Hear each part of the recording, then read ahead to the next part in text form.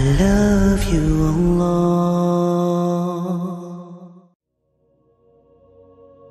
Brothers and sisters, I have a question for you. What do you wish for? What do you wish for?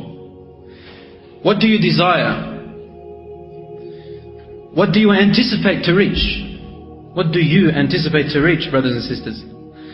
What is it that you yearn for? What is it that you long for? What is it? Ask yourself that question. What is your ambition? Do you wish for a beautiful wife or a gorgeous husband who has got popularity,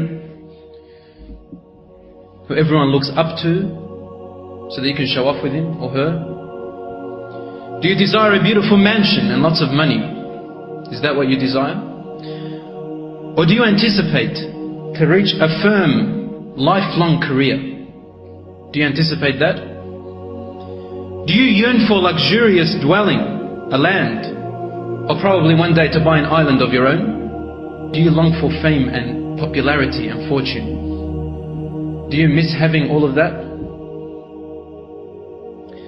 If this is what you are desiring and anticipating for and yearning for, then my dear brother or sister, you have been deceived. You have been deceived by this world, all of its fortune, all of its beauty.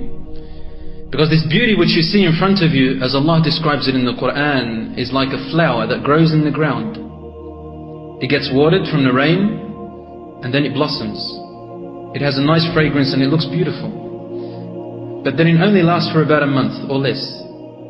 And then suddenly it starts to wither away. And you have no more attention towards it. As if it never had existed before. And become soil and dirt.